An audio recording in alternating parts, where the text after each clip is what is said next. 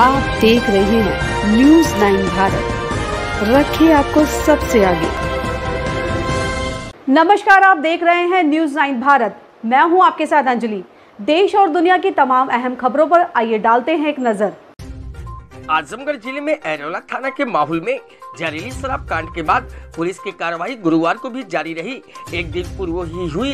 Police ने SP के नेतृत्व में एरौला के रुपईपुर में मोहम्मद सईद के आलिशान कोठी पर छापा मारकर भारी मात्रा में अपने से शराब व कफ सिरप बरामद किया था। इसके बाद डीआईजी ने सईद के चारों फरार पुत्रों पर पचास हज़ार का इनाम एक दिन पूर्व ही घोषित किया था, जबकि एक अन्य पुत्र फाइम को पहले ही गिरफ़्तार कर उसकी निशानदेही पर छापेमारी हुई थी।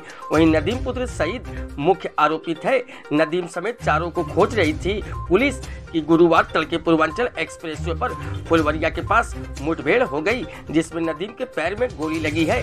घायल को कस्टडी में लेकर जिला अस्पताल लाया गया है। थाना इरोला अंतर्गत सरकारी शराब के ठेके से, शराब के सेवन से हुई मृत्यु के संबंध में पुलिस द्वारा कल रात्रि में एक अवैध शराब फैक्ट्री संचालित होते हुए पकड़ी गई थी।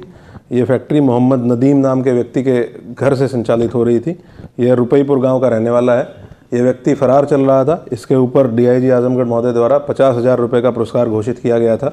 आज सुबह लगभग पौने पाँच बजे सूखीपुर के पास पुलिस के द्वारा इसको घेर कर रोकने का प्रयास किया गया, गिरफ्तारी का प्रयास किया गया।